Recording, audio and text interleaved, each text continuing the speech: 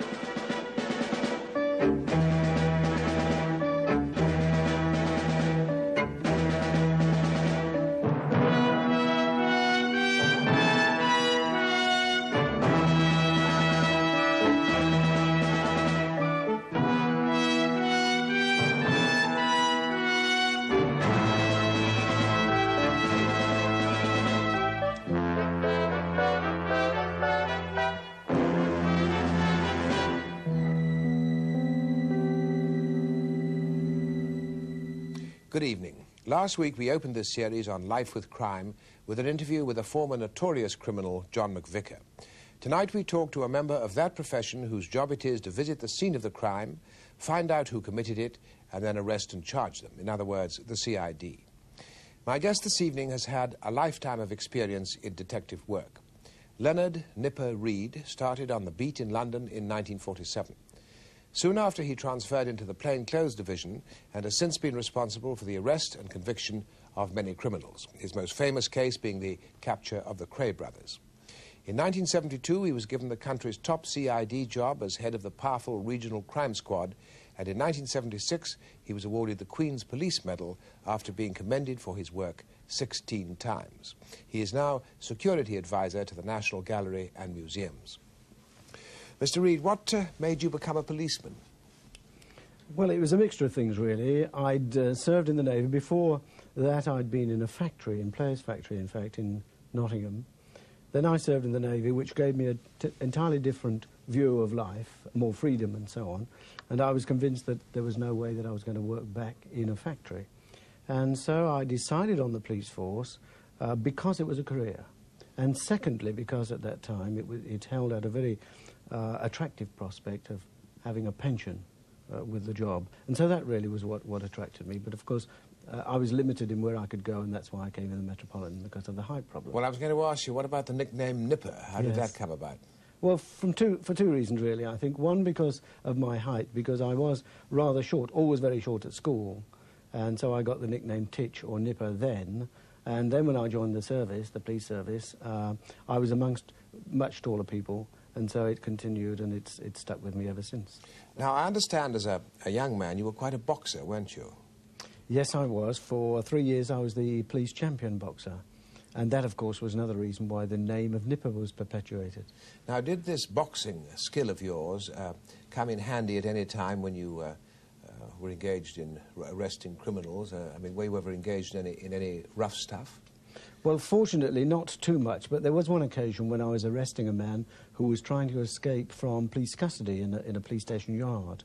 And I uh, started a fight with him and eventually uh, managed to overcome him and he was taken back into custody. But sometime later I realised that I'd lost my skill at boxing because I'd broken the knuckles in both of my hands. On this occasion? On this occasion, yes. Now, you've been in the detective branch for most of your career. Has the pattern of crime and uh, criminality changed at all during your time? Well, it's changed enormously and, and very obviously. I mean, in volume, it's changed, completely changed. I mean, it, it's, it's uh, uh, increased so much that it's, it's quite disproportionate. But also, it's changed in uh, the physical violence that's involved in crime. Because when I started as a detective, the, the housebreaker was an entirely different kettle of fish from the man that we get today. Uh, in my day, he wouldn't naturally resort to violent violence. He wanted to, uh, to do to his work. He wanted to be as professional as he possibly could. He didn't want to get caught, obviously. But if he was caught, then in the majority of cases anyway, he would surrender. He would see that there was no means of escape. He would try to talk his way out of something if he was stopped by a, a householder or, uh, or someone that uh, appeared to be an authority other than a policeman. He tried to talk his way out. Mm. But invariably, when he was finally and, and, and positively captured, then he would say, well, that's it. It was the old thing about being a fair cop governor. Now, with uh, modern methods of detection, is it easier or is it harder to catch criminals these days? Well, it's easier in the sense that they've got a better backup they've got more technical resources to call up. You know, in the sense that uh, in my day we didn't have uh, the computerized records that they've got. We didn't have the scenes of crimes officers they've got, the ph photographers, the fingerprint experts, and so on. We used to do uh, most of that ourselves. We would search a scene and uh, dust for fingerprints and so on. But because of the proliferation of crime and the number of people that are resorting to crime, I don't think they've got the same facility that we had, which was possibly to be able to distinguish who's committed the crime because of the type of crime that it was. There's such an abundance of crime. Now, you mentioned violence, uh, the increased violence, uh, a moment ago. Uh, and, of course, the British police always prided themselves on being unarmed. Yes. Do you think there's now a case, with the fact many criminals use guns these days, of the police being armed? Well, I'm, i feel that it's inevitable that the police will be armed. I think it would be a tragedy, and so do the policemen. The ordinary policemen, the majority of senior policemen feel this too. They don't want to be armed. But you see, they're in a situation where it's ludicrous to expect them to go into a situation where they're facing an armed and desperate criminal. Why should the, uh, the British public ask them to do this? And I don't think it's fair, I don't think it's right. But uh, they would hate the, to be forced into a situa situation where they would have to be armed as a matter of course. The, at the moment, they, they resent it. And uh, I, I, personally think that it's, it's a, a backward step because that's not what British policing was all about. Were there any criminals in your career that you, you got to know and uh, did cases with that you liked? There were certainly some. I mean, the, the, uh, the con men were the, were the, the people that uh, always commanded respect, in my view. I mean, they, they were still criminals, of course, and they, they uh, created havoc, but uh, nevertheless, they were a different breed. They, they were not totally non-violent and uh, they would always say that uh, the, an insurance company would pay for what they'd done or that there was justification for what they'd done. Of course, there never was, but nevertheless, they tried to justify their misdeeds in that fashion. But they were a different breed from uh, those that resorted to violence. Did, didn't you know a con man who swallowed a razor blade or something? Oh, indeed. Yeah. This was a man who, uh, who uh, had, had stolen some luggage. He, he, did this in a very plausible fashion, but he'd stolen some luggage and eventually all he wanted really was a checkbook. And he'd gone off to the Waldorf Hotel and he'd gone through the luggage and found the checkbook and, and he ordered a large meal and some wine and so on. And he was perfectly satisfied that that's all he wanted. But what he didn't, didn't realise was that there was a great hue and cry because he'd actually stolen something from an American officer that was supposed to have contained some secret papers point of fact, it didn't. But nevertheless, he was arrested eventually. There was a big hue and cry, and he was arrested. He was taken to the police station and, and charged. And very shortly afterwards, he called the station officer and said, Look, I think you ought to get an ambulance because I've swallowed a razor blade. And he had. And this was something that he did fairly regularly. Whenever he was arrested, in order to acclimatise him for the rigours of prison after the nice, soft, and very comfortable life that he'd been leading, he would swallow a razor blade, go into prison for a couple of weeks while, while this thing was eventually removed from him, and quite enjoy himself. His tummy must have had a lot of scars on it. Indeed, yes, but this, this is something they did quite often. Now, one reads a lot about uh, detectives being uh, offered bribes. Uh, and in some cases accepting bribes from criminals. Uh, how, how common is that? Well, it must be fairly common because uh, we've seen evidence of this through the courts and so on. But uh, I, I, can only remember on a couple of occasions that pe people have offered me bribes, and these were uh, very tentative approaches, no more than that. They weren't really uh, positive uh, attempts to bribe me. They were feeling their way. Did you ever uh, feel tempted to accept? Well, there was no question about it. There was no question about it at all because uh, it's a question of training and background, I think. I was very fortunate because I was trained uh, by a man that, that knew all the, the pitfalls that a young detective might fall into. And so I benefited from that. And so there was never any reason or, or, or uh, necessity to do it, in my view. Mr. Read, I understand that in the course of your investigations, you uh, sometimes, perhaps quite often, used to put on a disguise. Is that true? Yes. It is, and I, I, used to do this from, from a very early age, from the time that I first started as a detective, because I, I thought it was essential.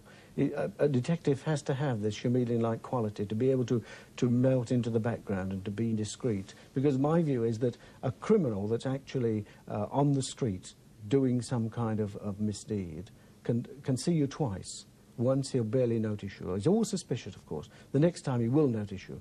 And so he mustn't be able to see you uh, more than those number of times. So What- I adopted various disguises. Well, I was going to say, what kind of Uh, disguise? well, as a railway porter, when I was doing an observation in a public house that was frequented by railwomen, as a milkman when we raided premises to uh, arrest an escaped burglar, uh, and uh, as a parson in order to make my way into the uh, prison chapel where I was interviewing criminals who were uh, very courageously, in my view, telling me tales about the Kray brothers and others in that organisation. you went in as a parson. Yes. A- a- And, and then what did you do? Did you, did you in, interrogate people in there? Well, they were making statements, you see. They wanted to make statements about their relationship with, with the organisation and what, the, what they had done and what the Krays had done. Yeah. And so this was really the only venue that was uh, sacrosanct in every sense uh, and, and where they could safely um, make their statement to me without the knowledge of their, their fellow prisoners. That Did, was did the you record these statements? Oh, indeed, indeed. I was always conscious of the fact that uh, in that situation at that time, there was a very strong possibility that I, to use the phrase, would be fitted up. In other words, that I, I would be getting statements from them under duress. But if a, if, a, if a parson goes into a prison carrying a tape recorder, Yes. he's rather suspect, isn't Well, indeed, it would have been, but you see, what I did was this. I had a box file that, that I uh, filled with, with uh, foam rubber and put my tape recorder in that and the microphone, and then the outside of the box file had a little uh, label which said Songs of Praise. so this was very indiscreet. How much does uh, a detective have to rely on informers? Well, to an inordinate, inordinate degree, really, because they are the only people that knows, know exactly what's gone on, apart from the criminal himself. And so you need to cultivate people like that uh, in order to get the, the kind of first-hand information which is so very essential. What is the going rate for informers? Well, that depends, of course, on the, the quality and the success rate of the actual job. Uh, it could be £100, it could be £200, it could be £1,000. But it would depend on the number of people arrested, the property recovered, and so on. What do you think of the advent of what I think are now called supergrasses, people like Bertie Smalls, who I believe you, you knew? Yes. Well, again, they, he, for example, was essential in that investigation because he was the only common thread through all the offences that were committed, and so therefore he was the only one in a position to inform on his colleagues. Uh, whether it's a nice thing or not uh, is not in question. It's a terrible thing. I mean, it, it's something that has been distasteful from the very first one, Judas. Uh, they've always been very unsavoury characters, but nevertheless essential people because, as I, I said, they know what's going on. And the supergrass has been recognised, I suppose, not officially as a matter of policy, but the police and the Home Office and the prison authorities have recognised that they should have some kind of special treatment. They get a reduction in their sentence because they are responsible. I mean, Smalls, I think, uh, informed on something like 200 people. They got 300 years imprisonment, something of that order which is, which is quite incredible. And so the balance is, is adjusted in the sense that had he not informed, uh, it may have been that he or the others would have uh, escaped justice and so on. Isn't there a danger, though, of informants setting up a crime in order to make money from it? This has happened, yes, and this is always the danger. This is where it's so important that the detec- detective must control his informant. There must be a, uh, a discipline, because otherwise the, the informant may well be uh, want to set up somebody uh, falsely and maliciously in order to get inf- information, money, or, and uh, from the detective. Now, your most famous case, I think you would probably agree, was that of the Kray brothers. Did this pose any particular problems for you? Well, it did because uh, the important thing there, thing there was was to uh, to guard against infiltration from people in the service and uh, to, who might pass on information back to the Krays. And so it's essential there that the team should be handpicked and, and also that it should be in a situation that was removed from Scotland Yard. And this we eventually succeeded in. How did you actually nail them? Because, I mean, they were tough people. They knew what the law was. They weren't going to give in easily. How did you actually manage to nail them? Well, what, what I did, in fact, was to, to go into the middle of them.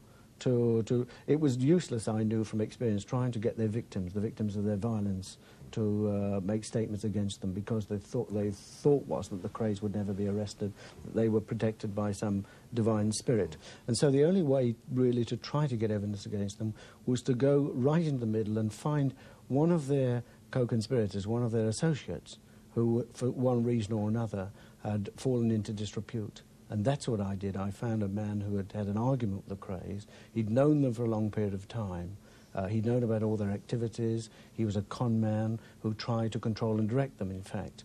And so eventually, after a, a couple of confidence building interviews, I managed to persuade him to give testimony. And he made a very long statement about all their activities. And this really was the start, the key that opened the, uh, the door to the inquiry into the Krays. When you say you had interviews with him, did you bring him into the yard or did you go and see him at his place? Oh, good heavens, no, no, no. We went miles away into all kinds of uh, small hotels and this kind of thing, where it was very uh, discreet and where people wouldn't realise who we were and so on. We hired a room and, and uh, we spent hours going through all the uh, evidence that he was able to give and so on. Is it true that the Kray brothers uh, had a price on your head of £5,000? Yes, it was. In fact, this we learned from uh, one of their fellow prisoners who made a statement eventually and said that that was the going rate then for uh, someone to come over from America and, and do the business on me. And do you? Did That's this right. worry you? Well, it did, of course it did. It didn't for a time because threats like this are not uncommon uh, from criminals, but these were a different uh, breed. They were, they were men of violence, obviously, and, uh, and so because of that, I think I took it more seriously. Did you carry a gun at that would. time? No, I didn't. Uh, th- occasionally I did, but not uh, as a matter of, of routine. Mr. Read, what do you think of the very long sentences that are being meted out, uh, meted out nowadays to hardened criminals? Uh, in, for instance, the train robbery case in which you were also involved, i and there were sentences of 30 years. Yes. What's your view on that? Well, I think that, that long sentences like that are, are totally unjustified. I don't think that, I, I think it, it breaks a man's character completely to serve a sentence like that. Now, you're on record as saying that you would like to see crime statistics published on a basis of race. Uh, is that not being anti-racial? No, I don't think it is, because what I, when I said that, what I meant by that was that I'd like to identify the problem. What is being suggested is that it's racist, but you see, there are problems in places like Brixton and Bradford and Birmingham and Southall and so on. And, and we know that, that black youths are getting into trouble because they don't have work or because of their bad environment or because of lack of education or work, for whatever reason. Why shouldn't we identify that and do something positive about it rather than saying it is, it, it's not happening, it'll go away? But is the thinking behind that that there are far more crimes committed by coloured people than the general public know about? Is that what the thinking is behind that wish I think yours? it's probably true, yes. I think it ought to be identified. And if it's a problem, then we can look at it. Yeah. When you take a, a man into questioning, how do you get him to talk? Well, if a man's determined not to talk, you can't get him to talk. For example, I mean, you can't beat a, a confession from a man. That's absolutely impossible. So, really, it's a question of tr- trying to indicate to him the kind of evidence that you've got, indicate to him the evidence that is against him personally, uh, be it fingerprints or the fact that he was seen by a witness or the fact that you've recovered property from his address or that he's been named by a, uh, a co-conspirator or something of that order, and then see what his reaction is. And, and it's, there's nothing more than that to it, really. I mean, do, do, do you use the kind of techniques one sometimes reads about of uh, blowing hot and cold, leaving him uh, for an hour or two, coming back for five minutes, leaving him for another hour? I mean, are these sort of techniques used? They are used without any question, but, personally I didn't bother with that too much because I think that what you've got to do is try to get some determination about the man himself to, to quickly gauge the calibre of the person that you're interrogating so that you know whether you're, you're going to be successful in uh, getting him to talk or not, whether you're wasting your time. And I think that in a, a fairly quick and brief interview you can determine that and then you know whether to go on or not. What is your view about the, acu- the accused person's right to silence and the fact that, uh, by law, the detective is obliged to tell him that he doesn't have to say anything unless he wants to? What's your view of that? Well, uh, the, the, the caution, I, I personally think the caution is a waste of time. Because uh, most of the people that are cautioned don't realise they've been cautioned. You know, they're in a, a very traumatic state. They're in a police station, maybe for the first time in their lives. And they see this person in authority intoning this business about not having to say anything unless they wish to do so. There is the possibility always that a, a, a completely innocent man may not say something that which would uh, extricate him from the actual crime. But the hardened professional criminal, it makes no uh, difference to him at all. He's heard it so many times that he would say, and very often has said to me, don't waste the time telling me that, Governor, and this kind of thing. But the right of silence, uh, I think some, some uh, indication should be taken of this by the court because people should be uh, persuaded in one fashion or another uh, by pressure, uh, by indicating to the court that this man didn't say anything in, in uh, reaction to, to the charge when it was laid against him or the question that was posed by the detective and so on. Because it's never protected the innocent person, it's always been a shield for the guilty, and that's all. Now, we, have also heard a, very great deal recently about what's called the verbals. That's to say, allegations that uh, police officers have put into the accused's mouth things that he didn't say. And indeed, last week we had John McVicar here, and he alleged that in, uh, I think, most of the crimes he committed, while admitting he was guilty, he said that he'd be, he said that he'd been verbaled. Now, verbaling goes on, we all know that. Now, is it done because the police um, often know that a man is guilty, yet haven't got the evidence to nail him? Is that the reason for it? In fact, I was just about to ask you that. I wonder whether John McVicar uh, has been convicted merely on the, the evidence of verbals or whether there was substantial evidence to back it up. Oh, yes, he would admit there was, and yes. he doesn't deny that yes. he was guilty, but he says that there were occasions, and indeed there are many, many instances which I could quote to you of, of, of mm. where there have been verbals. And what I wanted to get from you was, was, was why it is done, when it's done. Is it because a lack of evidence and a feeling, well, we know this man did it, but, but we can't get him otherwise? I'm sure that's the case. I'm sure that the, the situation is that there's a paucity of evidence. Mm uh, against a particular individual. And so in order to, to just redress the balance a little bit, the, an, an, officer will go to the extreme of, of verbaling a man and, and uh, putting into his mouth words that he didn't say which indicate that he committed the crime. Uh, Mr. Read, have you ever verbaled anybody? I've never needed to. No. I've never needed to because it's amazing that what people say when they're arrested. It mm. truly is. And always, I think personally, that it's bad detective work. If you can't get the evidence, then you can't charge a person, and it's as simple as that. What do you say to the suggestion that interrogations should be tape recorded? Well, personally, I'm a very great believer in this. I think very strongly that it should be. It's, it's a precaution that I've uh, taken myself on many occasions, and it served me in very good stead. Uh, I've already told you. You've just done it privately. Privately, yeah. without any authority at all, and, and it had no legal standing in court, mm. but it served me in good stead in one particular case that I, I can recall, where I uh, tape recorded surreptitiously a conversation that I'd had with a man who'd made some very startling admissions. And I, of course, gave this in evidence, uh, or at least started to give it in evidence, but his lawyer stopped this, and there was the inevitable trial within a trial while the judge, in the absence of the jury, tried to decide whether the evidence should be admitted to the jury. And uh, this went on until lunchtime. And at the lunchtime break, I spoke to his, his counsel, who I knew, and said, if you, if you could be here at 10 minutes to 2, I can let you listen to something. And I let him listen to a passage on this tape recording of the actual conversation that we'd had. And he realized that everything that I was saying was perfectly true. And so he withdrew the objections, the case went on, and my evidence was heard. Mm.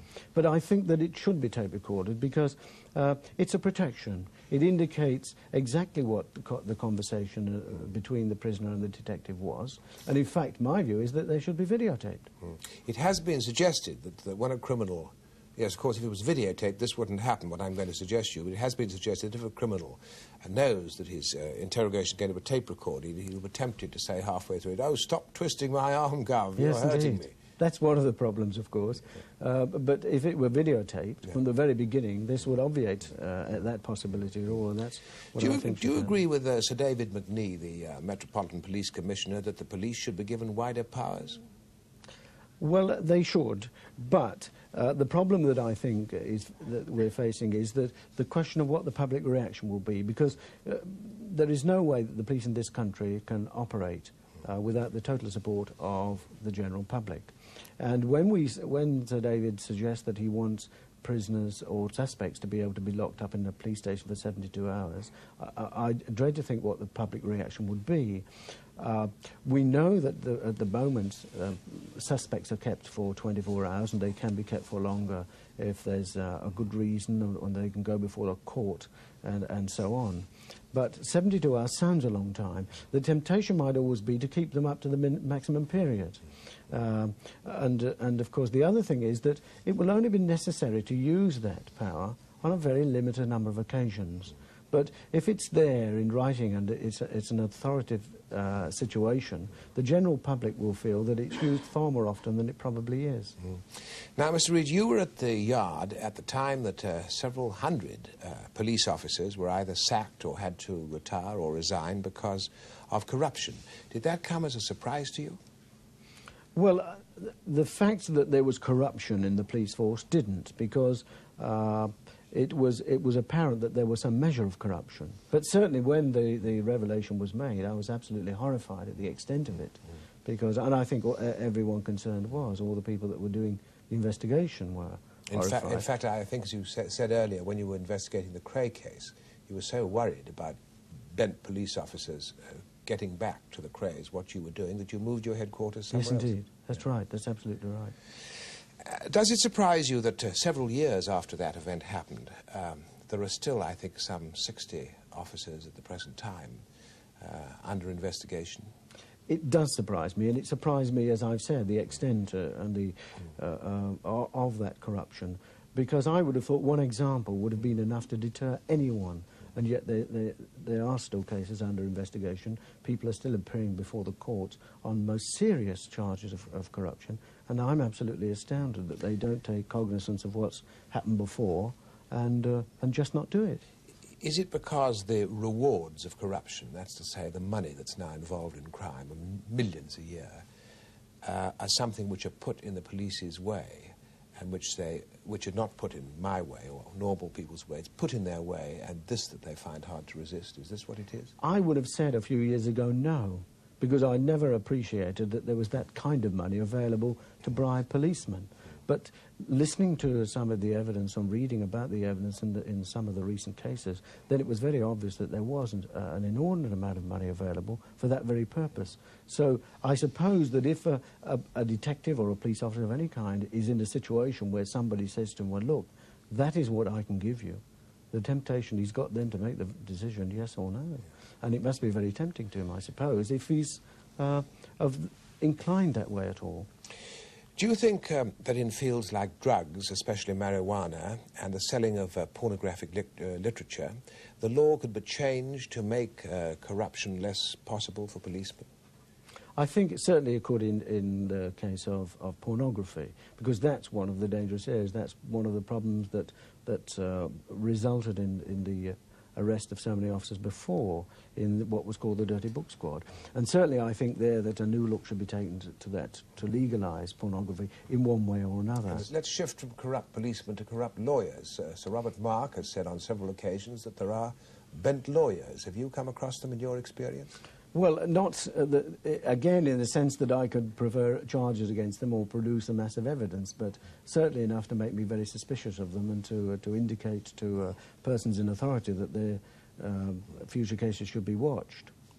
Look, looking at uh, what you described earlier as an enormous increase in crime since you first became a detective, have you thought, as a result of your experience, of any ways at all in which crime could be reduced? Society's got to change. There's got to be a rethink about society. People have got to do, decide what kind of society they want to live in, whether they are, are content to live in this society where so many people uh, commit crime, whether they allow so much crime to uh, uh, proliferate, or whether they want a more orderly society with a, a, decent British type of police force rather than the kind of thing we were talking about earlier, uh, an armed paramilitary organisation. Of, of, course, when you started your career, there was a stigma at, uh, attached to crime and the criminal, wasn't there? And I wouldn't say there was so That's much right. now. It's gone now. You see, that was a, that was a social barrier. Mm. People who were uh, involved with the police or went to court or went to prison, uh, there was that. They were totally stigmatised for, for a very long time, and so were their children and their family. Mm. And the result of that was that people were reluctant to uh, become involved in crime. Now that's all gone. Uh, that's completely removed and uh, people don't seem to worry. In fact, it's par for the course almost that a young kid goes to a juvenile court or goes to a remand home, and uh, it's considered uh, something of an accolade in, in their particular circle and so on. Uh, lastly, uh, Mr. Read, I've heard it said that uh, detectives and criminals are really two sides of the same coin. that a man who chooses to become a policeman might perhaps have chosen to become a criminal. Is that a fanciful idea, or is there any truth in it? Well, it's often been said, you know, you've got to, you set a thief to catch a thief. You've got to be a, a, almost a criminal to, to be a detective. I don't think that's right. It may have been right in, in, uh, in the old Bow Street days, but uh, certainly not in these days where, where we've got to know the criminals, we've got to know their, their background, their, the way they feel, the way they think. Uh, and likewise, they, they would want to do the same with us because we're, we're their uh, very apparent adversary. But uh, I don't think you need to, to get too involved and embroiled in the criminal underworld to be a successful detective. And, and you, Mr. Read, never thought yourself of becoming a criminal? No, I didn't, thank goodness. Thank you very much.